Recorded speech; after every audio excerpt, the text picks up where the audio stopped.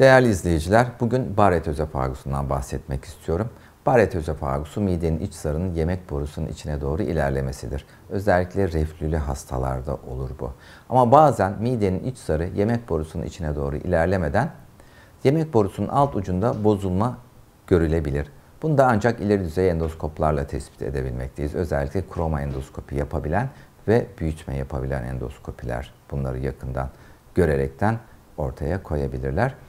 Ee, tabii normal endoskoplarla inceleme yaparken sadece e, kırmızı bir görüntü elde etmekteyiz ama e, ileri düzey endoskoplar ki Türkiye'de sadece birkaç tane var şu anda ışıkla boyama yaparaktan, büyüterekten hem mikrovasküler yapıyı hem de damarsal yapıyı ortaya koymaktadır.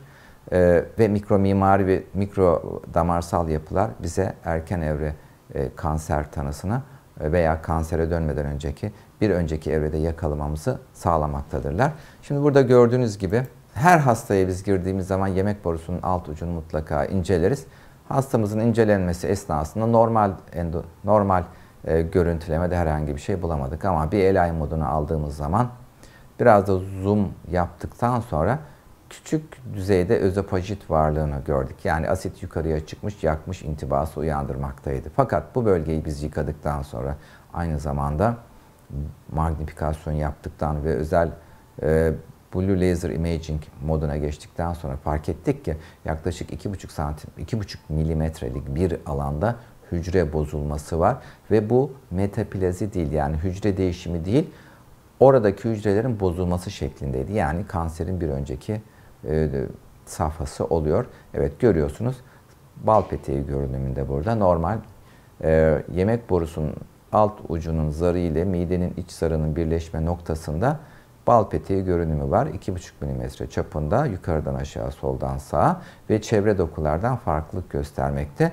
Burası düşük derece displezinin olduğu doku. Şu gördüğünüz doku da yemek borusunun iç zarının. İleri düzey endoskopiyle yemek borusunun iç zarını bu şekilde inceleriz. Buradaki damarsal yapılarda bir bozulma varsa erken evre kanser vardır. Yine burada gördüğünüz gibi evet bu sefer LCI modu denen bir modla inceliyoruz. Yine büyütme yapıyoruz ve gördüğünüz gibi kırmızı alanlar sıkıntılı alanlar, displezin olduğu alanlar. Lugol solüsyonu ile boyama yapıyoruz. Çünkü e, yemek borusunun alt ucunda da e, bir problem olabilir.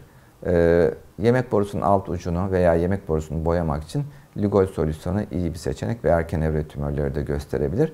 Sonuç olarak eğer ki şüpheleniyorsanız hastanızı çok iyi inceleyin. Özellikle yemek borusunun mide ile birleşme bölgesini çok iyi incelemek lazım. Özellikle yüksek riskli hastalarda. Bu hastamızda gördüğünüz gibi erken evre kansere dönebilecek bir lezyon vardı, displezi dediğimiz ve bu noktada yakalamış olduk. Bu noktanın rezeksiyonu sonucu hasta bu hastalıktan kurtulmuş oluyor.